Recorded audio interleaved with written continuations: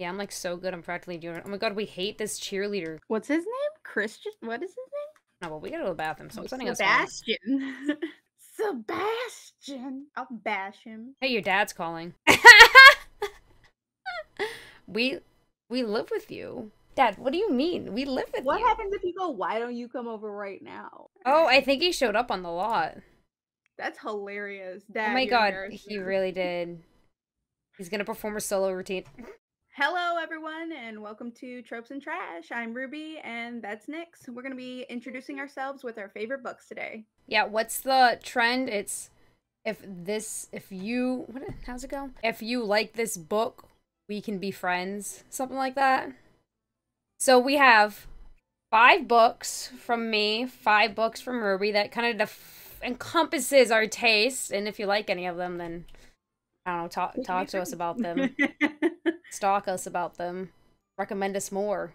That's kind of there. That'd be great because Rubie doesn't have enough on her TBR, as we found out last video. How many books do you have on your TBR? 1832, according to my Goodreads. yeah, I am well under 2,000, so. We gotta I break it. We need it to equal the year from Yeah. Xenon of the 21st century. In the meantime, we'll be playing Sims once again. So that hasn't changed. with So our chaotic family. it's way too big of a family. I've reduced it in my yeah, we killed the dog off. Well, no. Well, okay. well, when you say it like that, we didn't kill the dog off. So let's start with you. All right. Uh so I'm going to start with something that's a little more current and at the moment. Um and obviously I represent the trash in this duo, so I'm going to start with trash. Got it. Uh we're going to go with Crave by Tracy Wolff. Absolutely love this book so much. It is awful writing. Barely a plot but it's so addicting. First time I read it was with my mother, so it holds a special place in my heart. Um, and to this day, I have not finished the series because I don't want it to end. You're not even close to finishing the series. How many books are there? I read the first two books Yeah, you're not even close to finishing the series. Stand up, because I don't know how many. I don't know how many books are going to be in the series. So like, Curtis is getting ready. to Take the stage. He's been practicing a brand new comedy routine that he wants to debut for the audience. Suddenly, his cell phone rings. President of the Plumbob Pictures recording studio. Keep a tag Curtis Guru ever. Curtis must get to the studio immediately and debut his new routine. Curtis will gain fame, be promoted to the top of the. Wow, he instantly is gonna be the top of the comedian career. Yeah, obviously. See, I prayed for him. Who's calling your husband? His brother, his needy brother. We've been telling you to get a job for like five years now. Robin's just lovesick. He's like he never got over me, and you know Yeah. what? So You we're here for that that plot line. We were supposed to be together, but the zodiac sign just didn't match up. I had to marry an air sign or something. I don't know. Um, yeah, my hot take of Crave was that if it was a TV show or movie, I'd like it. It's very cringy writing. It's very cringy. Don't go into Crave if you want writing that sounds like it was written by somebody over the age of like 10. Mhm. a lot of AF.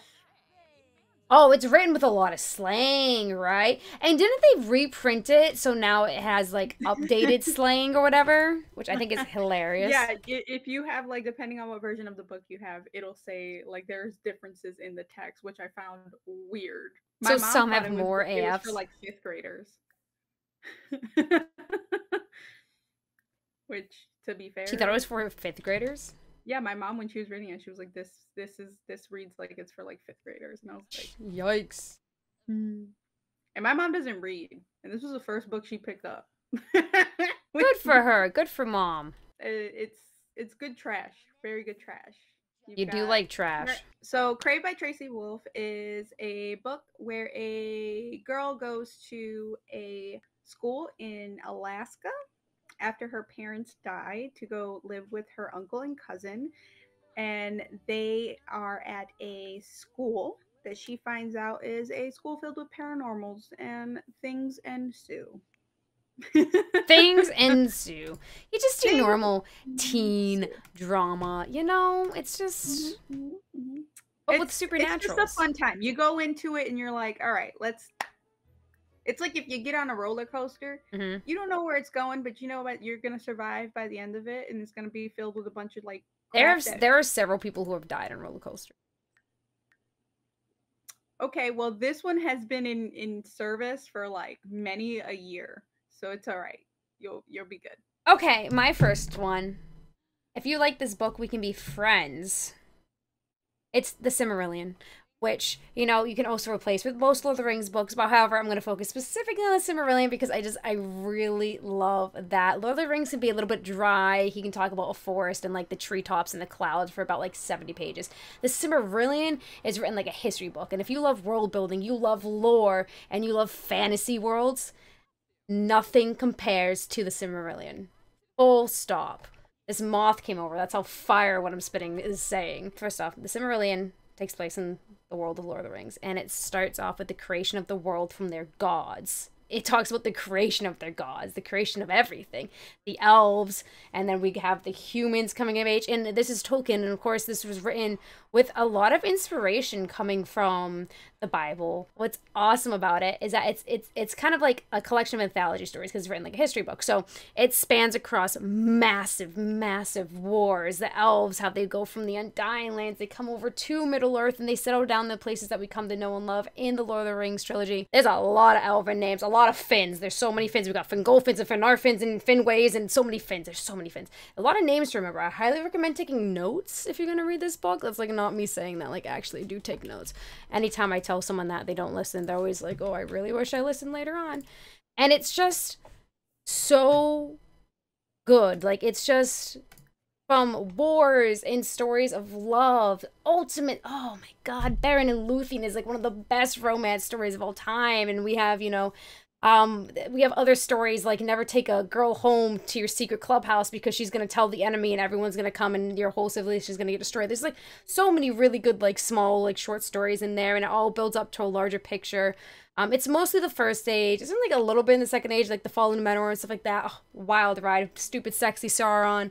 You know, we got spiders eating lights from trees, and a guy that simps so hard for a woman that you know he becomes, you know, a constellation. It, it's it's just wild. It's just the ultimate fantasy time, and highly recommend it for anybody who's like a huge fantasy lover. Can't get enough of it and uh, it helps a lot when you go into that like with the lord of the rings because you understand the things they're talking about more you understand like um just a, a lot of a lot of the themes a lot of the players in the game you, you just it's just great it is the he- one of the heaviest and hardest reads you will ever read though but if you can get past that it's great and if you can read that and you enjoy it then we can be friends All right. Uh, my second book that I chose was or is Night. It is a memoir by Elie Wiesel. I don't know how you say his name. I read this book in high school and it was my introduction to World War II. Yes, it took me until high school to learn about World War II. I had a very rough upbringing. really think we're throwing world war ii at like you know 10 year olds so are we Look, I just want I just want everyone to know that I read this book and they were talking about the SS and I was like, I don't know what that is. Everyone was like, You don't know what the SS is? And I was like Um, so yeah, and this book started my love for World War II history. Um, it is just it's really short. It's not like super super long or anything, but just everything that's in it is like super tragic um of course dealing with the material. Um and it's just stuck with me since. So if anyone reads that and they want to talk about it i'm here. It's it's an older book. Um maybe they still have you read it in high school. But uh it's it's super dope and i like memoirs and this was the first one that hit me and sparked my love for world war ii so i couldn't not put it on my list Books that you loved in high school. Can you name three? Books that you loved, sorry, books that you loved in high school that they forced you to read. Can you name three? Yeah, literally, I just Night, The Once and Future Queen, and Persuasion. Ooh, can you name two more? Uh, Black Boy and Siddhartha. What three did you hate? Um, I did not care for what what's the one with the witches? Macbeth. Didn't care for really Macbeth. hot take. didn't care for Macbeth, and I didn't care for. I I don't remember the other one that I didn't care for. I just got rid of it from my memory. but it was like, it was like I'm pretty sure it was like set in Asia or something like that. It was in my and I liked the majority of the books in that class. So like the Zen and the art of, the art of motorcycle maintenance, Siddhartha. Yeah, I cannot for the life of me remember. I read I think no, that was an American Lit. Yeah, I can't remember the other one. I erased it from my mind. I have ones that I loved would have been uh, Jane Eyre, Pride and Prejudice. Really got me onto the whole like Austen fest. Um, what else did I love? Dante's Inferno. Loved it. She's afraid of the dark. The kids are afraid of the dark. The kids are scared. Yeah, but don't we have the nightlights? Yeah, we do have the nightlight. Have her nap then. Nap lazily. Got it. I really liked Macbeth. I did. So I would list that one. That was a great time. Canterbury Tales was pretty good too. Loved Canterbury Tales. Canterbury Tales is great. We got to act it out and we all dressed up and I get to be the reeve. So I get to be this like hooded guy in the back who just was quiet and judged everyone. And I was made for that role. I was made for that role. the only part that was hard about it was that the fact I had to shut up the whole time. but the thing, oh, ones I hated, oh, Hemingway, Gatsby, Catcher in the Rye. Oh, how I hate it. And I'm gonna put a fourth in Antigone. Hated Antigone. Miserable, miserable. Antigone. I I I like Gatsby fine. I like the Mice and Men too. They're on my like lower. Like I read other books that I liked more, but those were like they were fine t- for me. Tate a panicked poop. That's me anytime I, I'm running late to work and I still haven't gone to the bathroom. Well, speaking of books I loved in high school, Pride and Prejudice. if you are a Pride and Prejudice, if you are a Jane Austen fan, if you are a British literature fan, we should be friends. I love it. I love Austen. I love the Brontes. I love Hardy. I love Dickens. I love British literature, but Pride and Prejudice is my favorite. And some people might be like, wow, Lauren, that's really, you know, basic of you. And it is. And I'm okay with that, you know? You just sometimes you gotta embrace it. Like, you know, these girls are not ashamed of loving Taylor Swift, and I respect them for it. I respect them for it. You're not ashamed of One Direction. The fact that you wrote a One Direction fanfic, I will link that below. But I love it. If I wasn't Pride and Prejudice, it would be Emma. I love Emma so much. I love Clueless. Great movie. Paul Rudd looks exactly the same. I don't know what virgins he's sacrificing, but like, let me in on that ritual. Because he just looks right. But Pride and Prejudice is amazing because the way Austen takes such a hard look at her society is so incredibly ahead of her time. And I don't think people like realize that as much. Oh, this is a real family. We bathing and showering at the same time. Damn, everyone's in the bathroom. everyone's in the bathroom. And I just really love, first off, the beginning sentence of Pride and Prejudice is hilarious. And it gets me every time.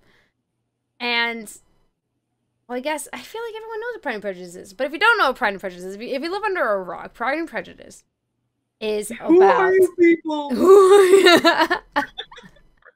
it's really what it would be giving. So we have the Bennet sisters. There's four of them. They they're like slightly above middle class, but not quite upper class. And Elizabeth Bennet is the main character, and she's an independent, strong-willed, very op- opinionated, likes to walk a lot. You know, she just you know how you go on Bumble or Tinder, whatever, and everybody says that they love hiking. She's she's kind of like that, and she likes to read books, whatever. Strong mind and quick to wit a new newcomers come to town. We got Bingley, we got Darcy, we got Bingley's sisters, but they don't matter as much. We got, we just got rich single men coming to town. So Elizabeth, Elizabeth's mom is like, they have to marry one of my daughters, specifically Mr. Bingley or whatever, because everybody realizes really quickly that Darcy's kind of like a jerk, but he's like super super rich, so he kind of gets away with it. He's also hot, but he's like immediately looks looks at Elizabeth and he's like, no. so she's not interested in him. He's not interested in her. It's like one of the og romances one of the og like enemies and lovers. Like it's just phenomenal. We got like multiple romances going on. We got like all sorts of things happening. We got betrayal. We got heartbreaks. We got traumas. We got a lot of wit. We got so much banter. You can't even think about it. Absolutely is a must read. It's such a good a lot. There's a good chunk of it that is satire. Oh, try some light makeup. Obviously, that's the answer, Rubie. If it's his parents, then you say, "I'm fine. Don't overreact." They're not gonna tell him to put makeup on. I don't know who he's talking. Hold on. He's talking to his dad. Yeah, if he was talking to like his aunt, then He's like, I'll get your makeup. But yeah, if you love things kind of like Bridgerton, it's just the the aesthetic, the pining, the dresses, the conversations. Ten out of ten must read.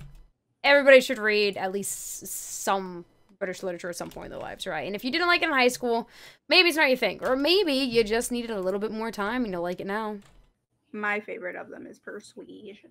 Persuasion's really good, and I can super respect that answer. Love Persuasion, big fan of Persuasion.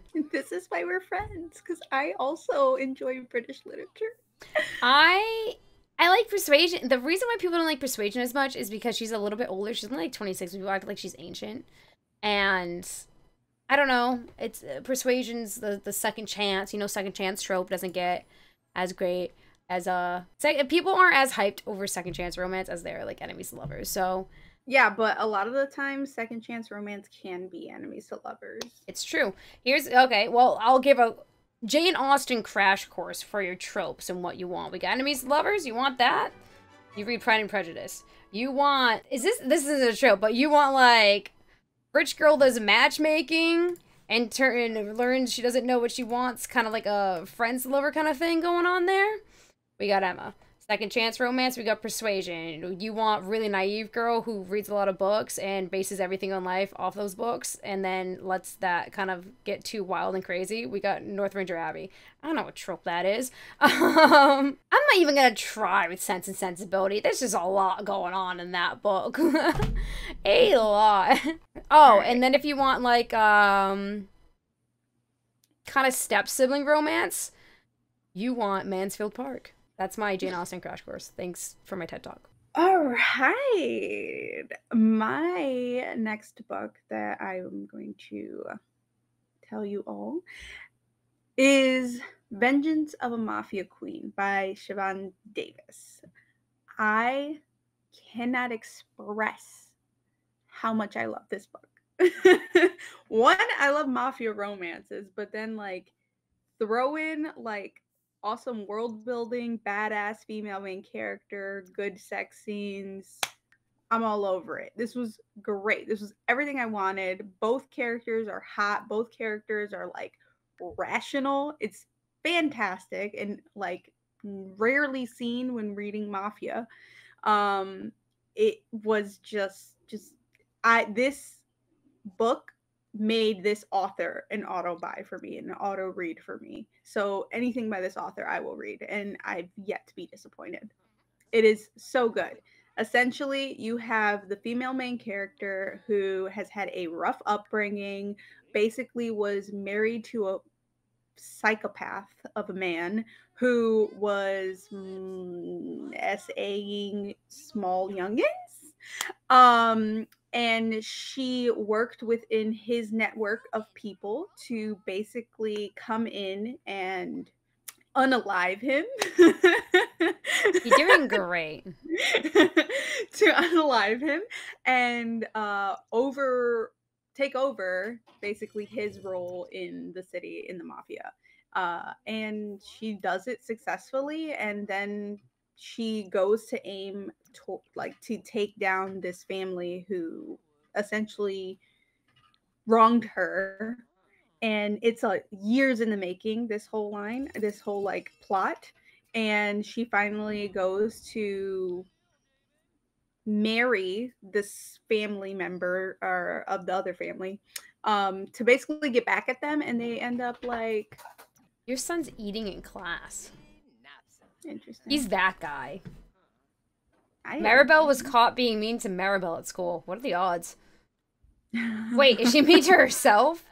Or is this somebody also named Maribel? That's hilarious. she builds this plot up for years she ends up have marrying this guy in the opposing family and they have like really good what is it chemistry they have really good chemistry and they're basically having to that he also has his own agenda but they're like keeping it from each other and eventually they like come to the same terms and they fucking take everything down from from within. It's great. It's great. It's so great. It's great if you like Mafia. If you don't like Yeah, Mafia, it's very heavy in like themes and trigger warnings and content warnings. I can imagine. something that Siobhan Davis always dabbles in. So like definitely a darker romance author.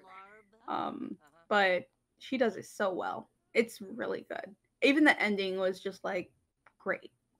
He this is one of the first times in a mafia romance that I've read where a male main character lets a female main character be a boss essentially like he's he owns his own self but he also lets her own her own self but they come together in a way that just works and you don't see that often in a mafia romance so i just this had to be on my list such a good mafia romance Prom's already happening.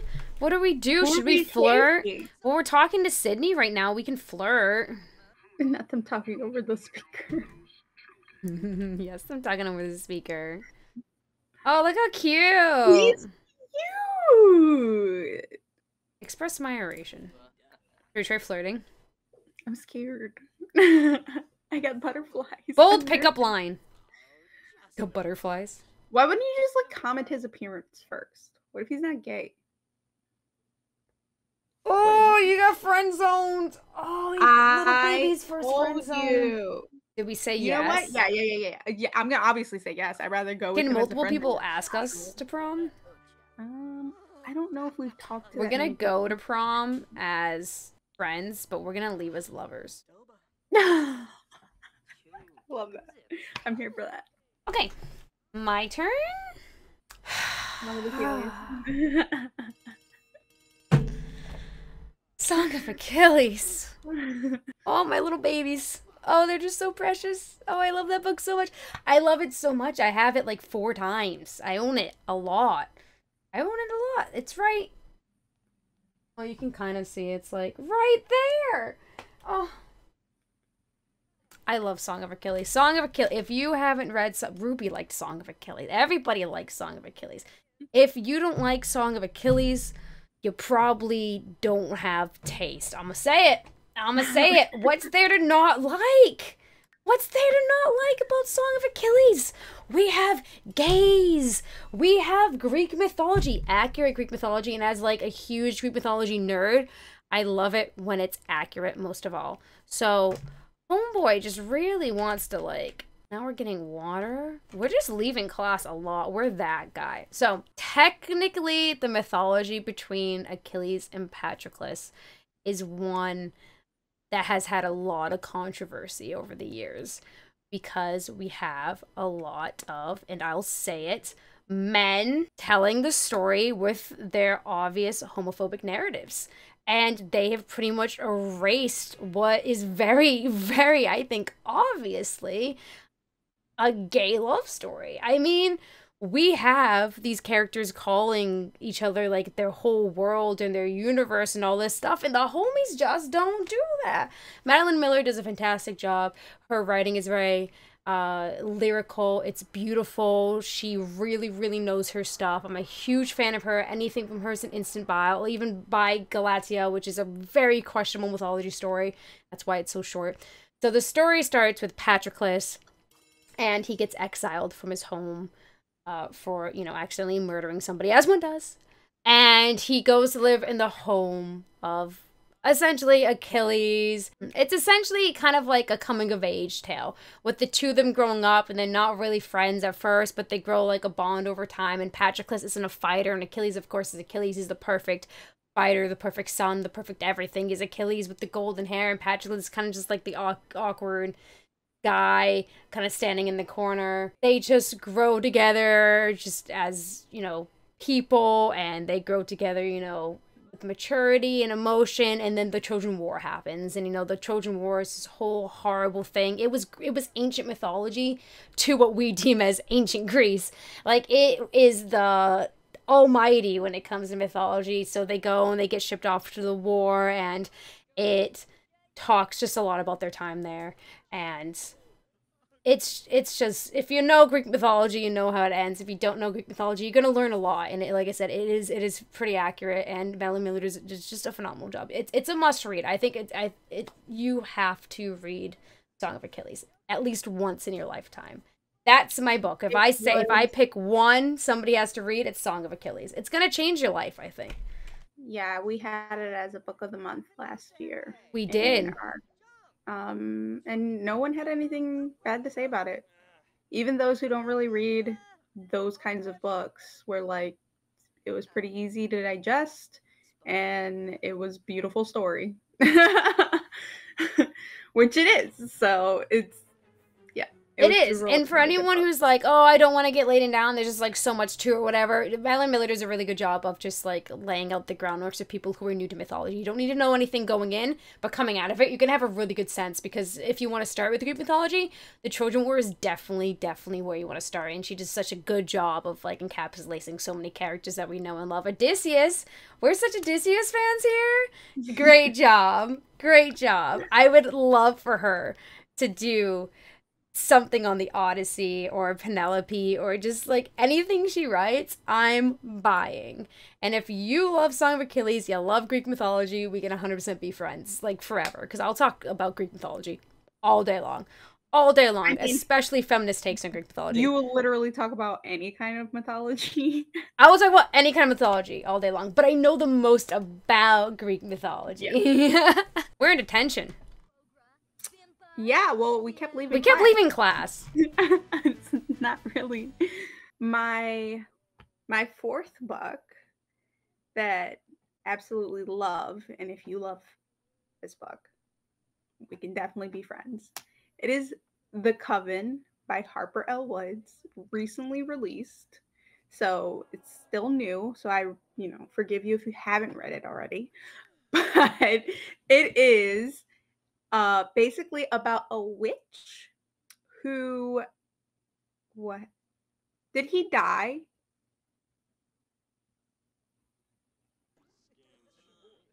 Oh, it's her. Oh my god, our teacher died.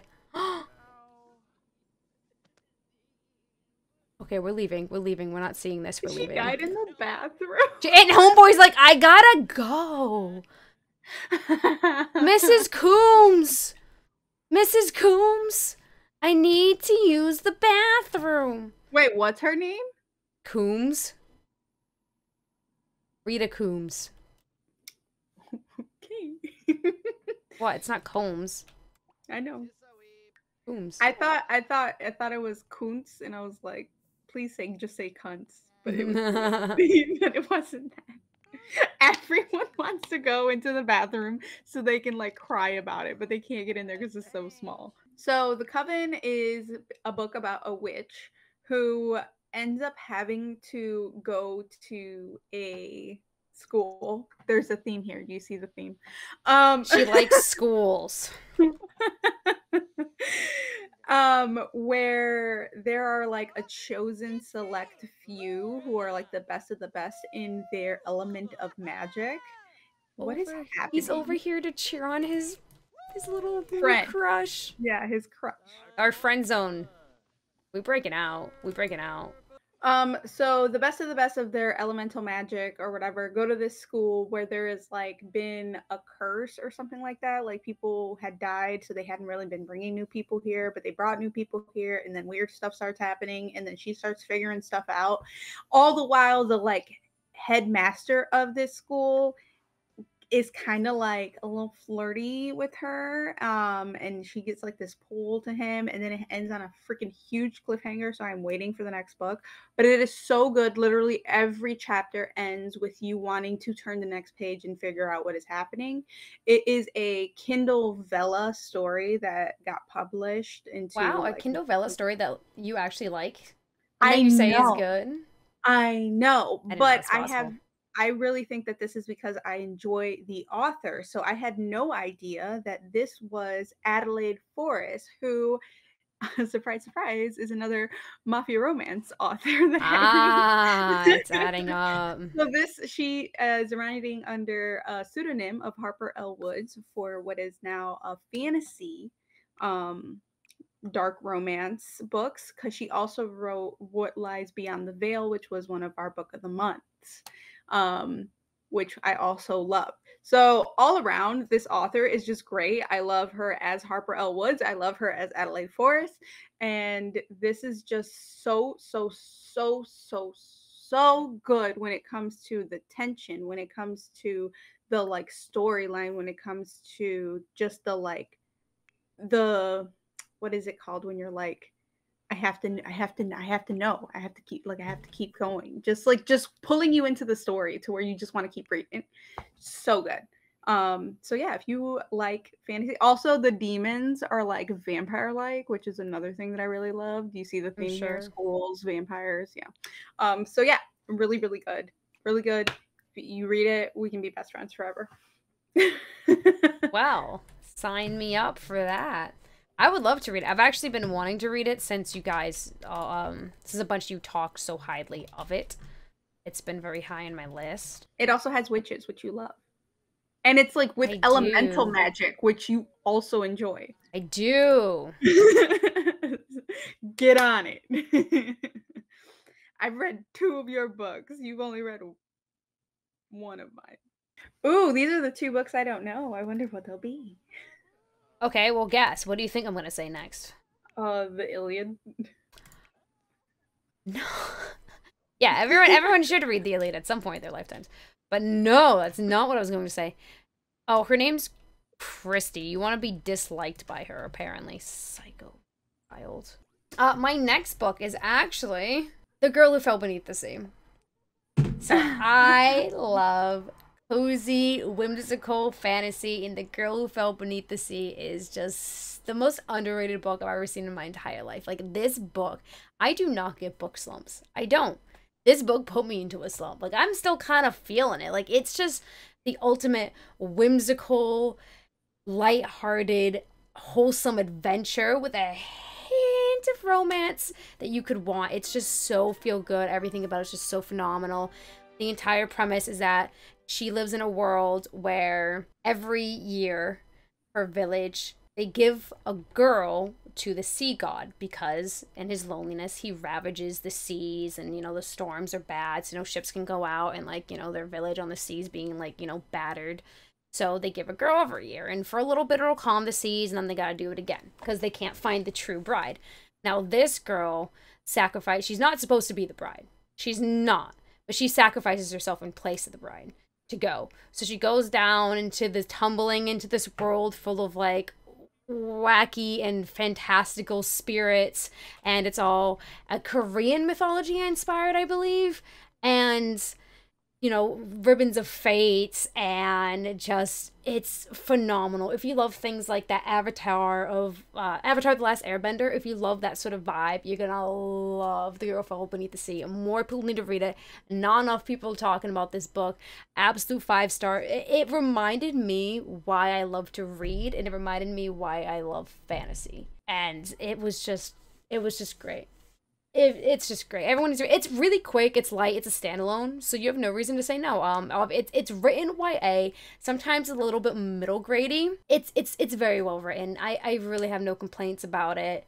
I would love for like a YA NA kind of version, but I'm totally fine with like what we got and you know, just watching her try to save her village and become like the sea god's true bride or whatever. It's just such a fan. It's just a, a wondrous, wondrous adventure. So glad to have found this book. I recommend it. Beautiful cover too. So like, what more do you want? Covers covers beautiful. Yeah, I've yet to read it, but I will be reading it sometime this year because it was a book of the month, and I tend to read all of our book of the months. I'm sure you will be ecstatic once I pick it up. I cannot wait for you to pick it up. I am going to absolutely lose my mind. I'm going to be so so excited. Yeah, I also for Song of Achilles, I didn't read it when it was book of the month either. I read it in December last year. Yeah, um, you tend to do that. I'm like, oh, Lauren likes this book. I'm not gonna read it right now.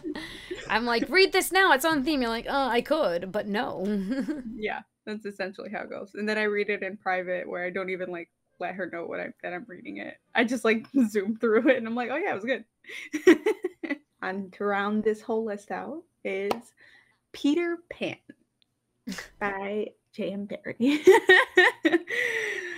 I love Peter Pan retellings, but I could not add any of them to this list because my tr- my heart truly lies with the original tale.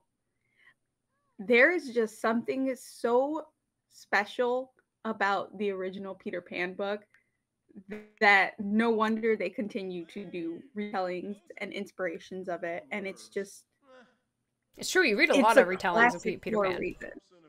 What'd you say? You you read a lot of Peter Pan retellings. It's true. Yes, I literally this year I've I read like three. like, I believe it. And and seeing as I read like a lot of I read six to seven books a month. That's quite a bit for you know to dedicate to just Peter Pan retellings. True. Um, I mean, okay, so Peter Pan is a story about uh the. If you live under a rock. Yeah, if you you know who are you? People? Who are you people? um, Peter Pan is a story about a boy with said name who is magical and lives in the land of Neverland, where there are mermaids and natives and pirates and fairies and um, multiple sea creatures and other things. Um, and he travels to our world, specifically to London, England, and he listens in um, to Wendy Darling telling stories of Peter Pan to her younger brother. Because men have egos. yeah, he okay. Well, in the book, he takes the stories back to the lost boys who live with him because um, they don't have any mothers, and so Wendy tells amazing stories, and so he gets these stories and he takes them back to the kids. But uh, he comes in and his shadow gets loose, and so he ends up waking up the the darling children, and they end up going to Neverland with Peter, and you know, adventure ensues. They have to fight some uh, pirates and they get involved with the natives that live there, you know, almost get drowned by some mermaids. And in the end, I love mermaids. They're like, you know, growing up is a part of life and you know, we have Spoiler. parents and uh we're going to we we got to go back.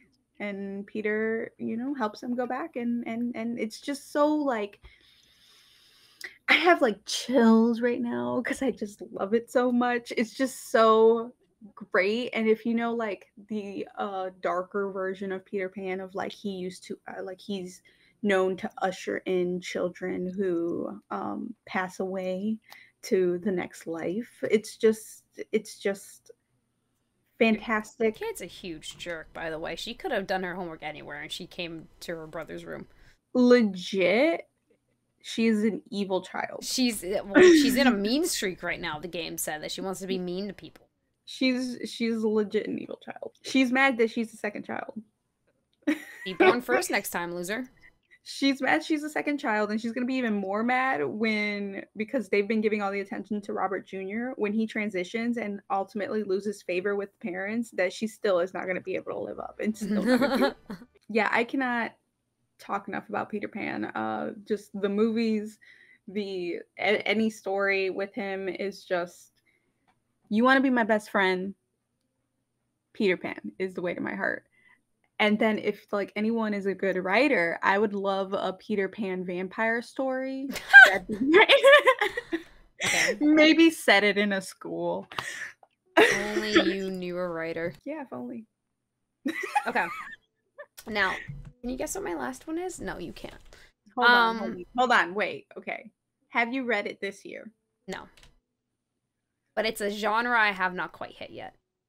Completely. I've like partially hit it. The only thing I can think of is Regency. Ooh. No, because I was kind of grouping Regency with like Pride and Prejudice and stuff. The whole like Edwardian kind of er, er, era, era, era. No. You didn't pick any rom coms? I debated. I almost I almost put um love in other words. My last book. The book. dictionary. Merriam-Webster dictionary. Wow, not even Oxford. Wow. It's a it's a it's a manual for a microwave because if you can build stuff, we can be friends. I can't. No, um it is Clockwork Princess the Infernal Devices trilogy. Ah, the chokehold that series has on me.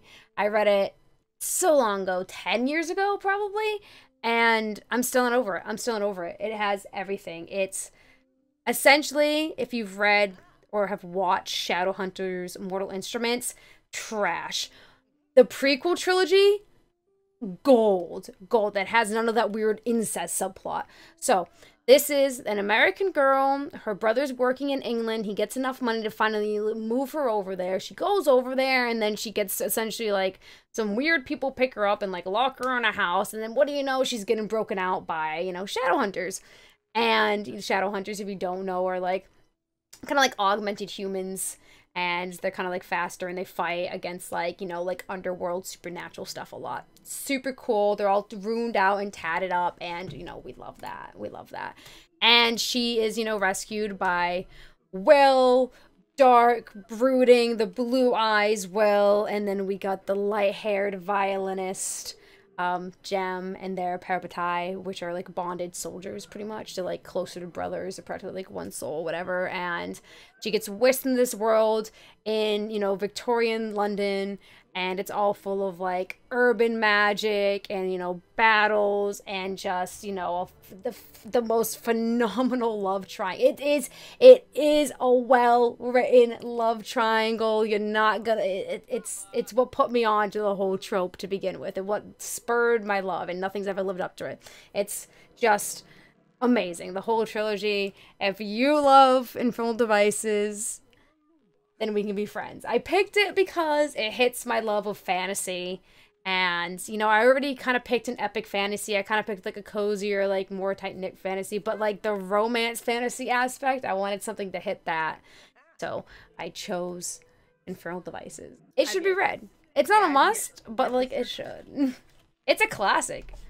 Yeah, I mean, I, I definitely plan to pick it up. I have all the books. I have all the books. I will start it one of these days. Look at mac and cheese in my cauldron again. A witch kid just trying to out here, witch. Your daughter is adorable. Look at her. Look at her hair. So cute, isn't she? Looks just like her mom.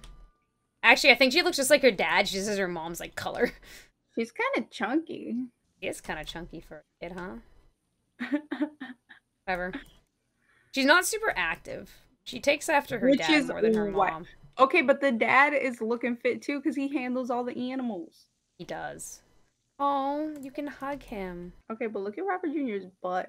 But I think that's it. I did five. You did five.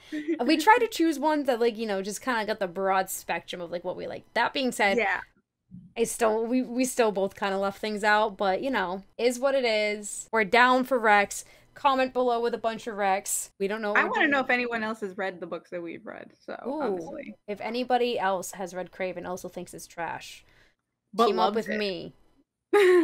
but if you think it's trash but you love it, team up with her. Tell us what you think about Song of Achilles or The Coven, which I do really need to read. And let us know if you added anything to TBR because of this. Because boy, does Rubie have a list of recs for you. So many. And if you need cozy fantasy, you come to me. cozy fantasy. Yeah, I know, but Legends don't take don't take this from me. I have. Okay. you know what I'm reading right now though that what? you would love? What? Um, that time I got drunk and saved the demon. What I really like that because like I kept seeing, I keep seeing that like everywhere, but I